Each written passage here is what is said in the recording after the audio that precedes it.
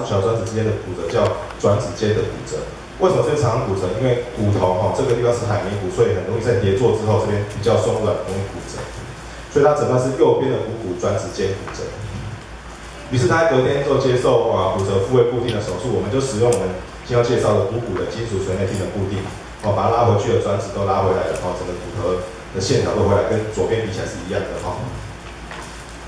中间大我们就一直在追踪哦，到四个月的时候，它已经骨头已经有骨痂生起来。所有的骨痂都骨头愈合的痕迹哦，这边白色白白厚厚的这些都是骨折愈合的痕迹哈。啊，已经没有疼痛，可以使用助行器在行走了。那在现在社会，因为大家老年哈，大家其实不论男女的哈，大概三十五岁以后，如果没有好好保养，大概骨头会慢慢的流失，尤其女性今后会流失更快。这场骨头它的密度里面像这样子，哦是很致密的哈。骨质疏松这中间开始空洞化。所以相对大家可可想而知哈，年轻人骨头就很像茶沟哈，老人家骨头就像钢架坡啊，哦一摔就断掉了哈，所以就它会称为是隐形的杀手，因为它不会痛，没有症状，但是一摔断骨头就会产生后面的并发症。那骨质疏松有四种最常见的四种四大常见的骨折啦，就是啊第一个是腕部桡骨的骨折，发生在比较年轻，大概六十五六十岁左右，因为他跌倒的时候他还有反应力，他手去撑，所以就把手手手腕撑断了。等年纪大一点，大概呃六十五到七十几岁，他就反应不及，他整个跌坐撞下去，撞到肩膀，变成肱骨的骨折。那另外脊椎的骨折哦，这压迫性骨折跟我们今天的主题髋骨的骨折是很重要的，特别是髋骨的骨折哈，常常会引引发很多并发症，也是我们特别注意的地方。那髋骨的骨折哈，我们所谓讲髋骨，其实它是讲近端的股骨骨折了哈，它有分成股骨颈的骨折，好，这是头，这边是颈子，这就是。股颈骨折跟我们刚前面讲的转子间骨折，甚至下面的关节下骨折，我们今天重点就放在转子间骨折跟转子下骨折，因为上面的转子间的股骨颈骨折治疗方法大概目前没有什么特别意义，不是打钉子就是换人工关节，大概是这样子。那髋部的骨折哈，好发在七十五岁以上，终其一生，大家注意终其一生哦，大概五分之一的女性跟百分之六的男性会发生。那这种。当然了，它发生以后，后面愈后愈后非常不好，特别是如果不接受手术，没有好好的固定的患者，很多都会机能的不良，或者是甚至一年内有的人会到了死亡的阶段哦。所以这个地方的骨折，大家处理上都要特别的小心。那转子间骨折怎么分类哦？其实分类很复杂，大家不用去太了解，但是大家要让他知道一下，就是分成稳定型跟不稳定型。那想想看，体重下来以后，如果他这个骨折都在这边，他内侧这个壁是稳定的，就像一个挡土起来一个边坡哦。当土它是稳定的话没有破掉，它是稳定型的。这种我们开刀完固定的效果会比较好。因为这种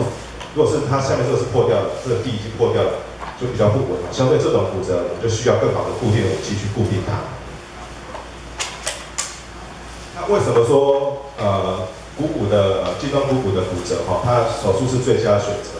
因为它断掉以后，这个患者他是完全无法挪动，无法翻身，无法移动，他做都做不起来。更别说吃东西，好好吃东西哦。所以他如果不接受手术，他可能坐久了、躺久了产产生褥疮，然后吃东西容易噎着，就肺炎会发生的。甚至躺在床上啊，大小便不方便就容易尿道感染，甚至躺久了、疼痛久了会产生忧郁症，甚至死亡的并发症。也就是说，这样子的骨折，除非这个患者他身体状况太差太差，无法接受手术，经不起手术的风险，不然手术仍然是我们最佳的选择哈。那我们手术的目标是什么呢？就减少它并发症的发生，包括前面所讲的哦，褥疮、肺炎、尿道感染、忧郁症，甚至到死亡。短期目标就是开完刀让他减轻疼痛，可以坐得起来，好好的吃东西，可以让家属帮他挪床挪到轮椅上，随可以出去晒晒太阳，看看风景，他心情会好很多。中长期目标才是期待他可以恢复到行走状态，虽然有一部分的人仍然需要啊很多辅助器的帮助，但是至少让这样的老人家可以。行走，行走出去家门哦，这样是对他是好的。那一般这个骨折哈，它传统固定方法是这个，叫做啊，我们简称叫 DHS 哈，它是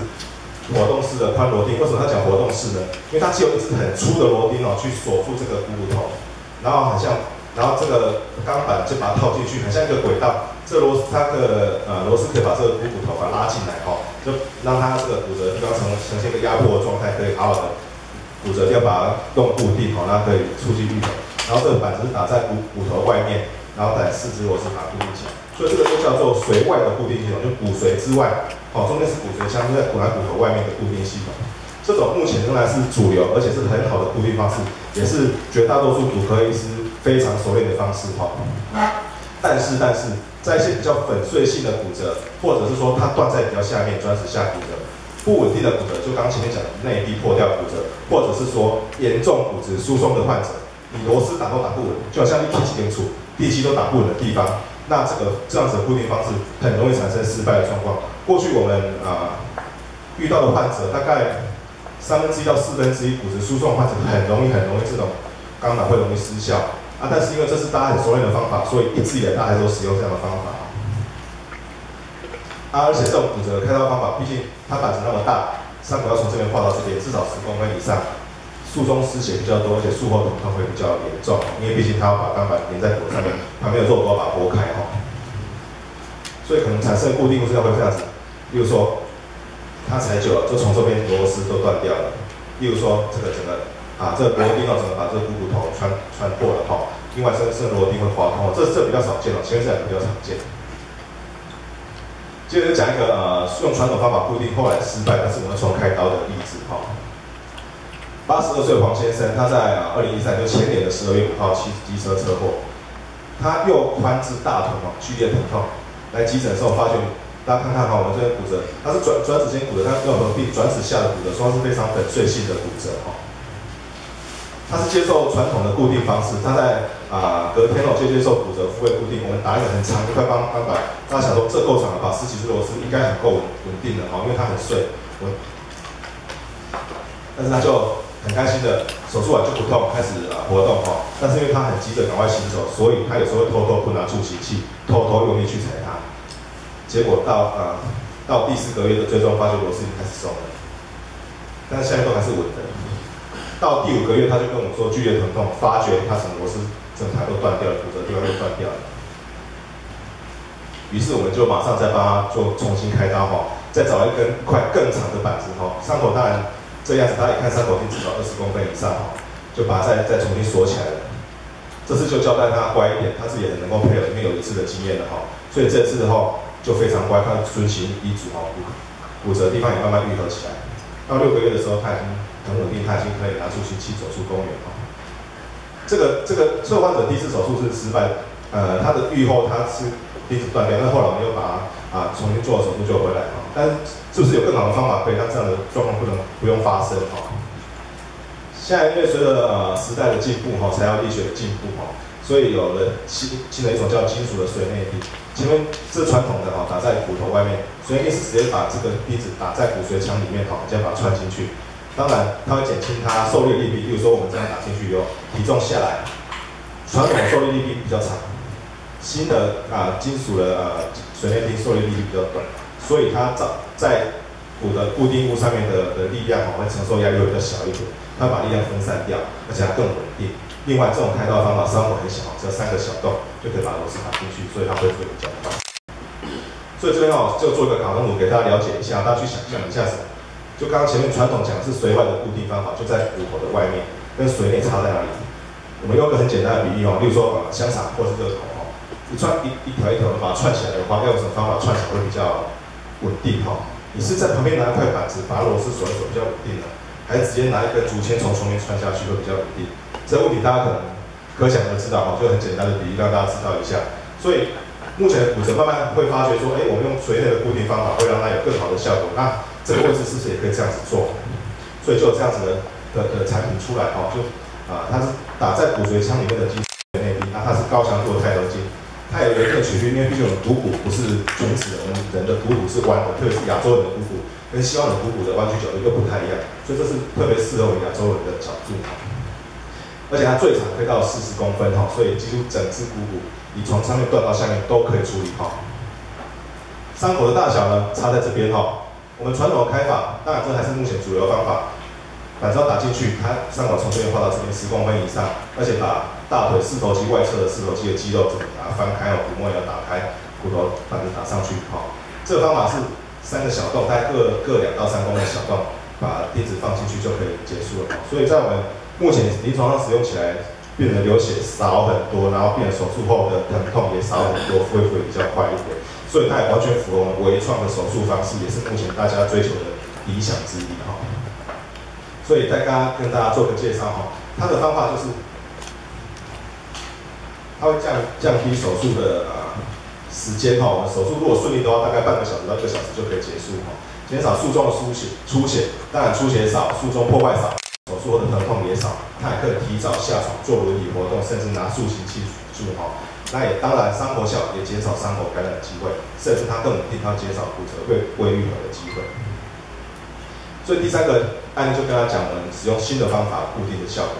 八十一岁李女士哈，在今年的二月五号过年前的时候，在柳田哈三步不慎跌倒，左边髋部剧烈疼痛。在急诊的时候，X 光发现是左边的股骨椎间骨折哈，前面两个都是右边的哈，这个是左边的例子哈。当然，他隔天我们就接受骨折复位固定手术，使用我们这新的哈啊股骨基础悬臂的固定。手术后的两个月哈，他已经骨折就稳定了哈，他两个月他已经开始使用助行器可以走走起步路了。好所以就是说，这样子的骨折固定方法，大家可以呢比较前面发觉它是穿在骨头里面的，有给骨折的呃稳定度更强，大家可以可想而知。所以说呃，我们把两者做一个简单的比较哈。左边这是活动式的髋模，就是我们传统的开刀方法；右边是金属髓内钉。手术时间，这种活动式方法，因为它伤口大，破坏多啊，手术完再缝补的时间、修复的时间也多嘛，所以大概遇到一个一点五小时。这金属髓内钉大概如果顺利的话，半个小时多就可以结束哈。伤口一个大概要十到十五公分，另外这边大概两到三公分的三个小洞就够了哈。那手术后出血大概两百到五百那个毫升左右了哈。啊，这个金属髓钉都很少，在五十 cc 以内哈。手术后疼痛会复起，活动式髋钉因为它伤口大，所以会也会疼痛好几天哈。那金属髓内钉病人的疼痛会比较会比较快，大概隔天就会就会笑着坐在那边吃饭，吃的很开心的哈。啊，稳定度的话，它活动式髋钉还是一个好的固定方法，它稳稳稳定度还是够的哈。但是金属髓就给我们更好的稳定效果。啊，所以这边再为大家做一个简单的结论哈。髋部骨折是老年人的一大杀手，特别是啊保密防顶哈，这个都大家可以跟大家讲的就是保持骨骨头的密度，然后预防跌倒，这是最重要的，预防它的发生是最重要。但如果真的发生了，除非病重需要无法手术，不然手术仍然是髋部骨折最佳的选择。那还跟大家强调一点，虽然我们介绍新的东西跟更好的固定方法，但是传统活动性髋钉目前仍然是主流而且有效的固定方法。重点是，如果这病人是骨折是稳定的状态，骨头的密度没有那么差，其实这个还是目前主流的方法。新式的金属髓钉提供进一步的稳定跟减少伤口并发症，特别是针对那些比较粉碎或者是骨折也做疏松的患者，是是它们有效的。所以说，不是说所有的方法都是新的一定比较好，我们还是要由骨科专科医师啊，经过考量病人的本身的状况，还有病人骨折的方式来做专业的评估，才能给予患者最好的治疗。这是我今天的报告，谢谢。